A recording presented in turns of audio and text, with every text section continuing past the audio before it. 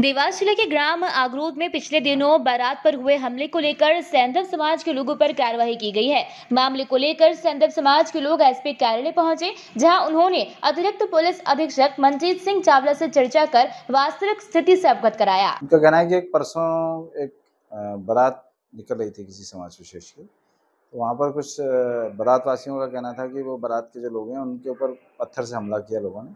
उस पर एक एफ़ रजिस्टर की गई थाना टॉप कोर्ट में। दस आरोपी जो नामजद किए गए उनमें से इनका कहना था कि कुछ आरोपी वहाँ मौके पर उपस्थित नहीं थे, उनका नाम भी लिखवा दिया गया।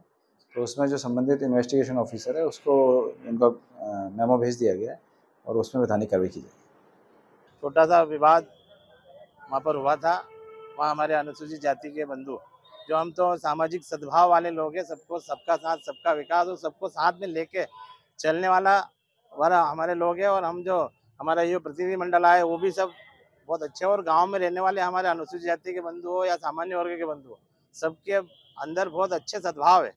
वहाँ पर ऐसे कोई बारात नहीं रोकी गई, न घोड़ा आया, न जुलूस रोका गया। वो बारात निकलने के बाद में कुछ आपस में बारातियों का विवाद हुआ तो कुछ लोग समझाने गए। तो समझाने गए तो वो आपस में विवाद तो खत्म कर दिया और वो हमारा एक जो बंधु था उसके साथ मारा पीटी हो गई। अब मारा पीटी हो गई तो दो मारते आपस में, एक दूसरे तो थोड़ी बहुत कार्रवाई हो जाती है।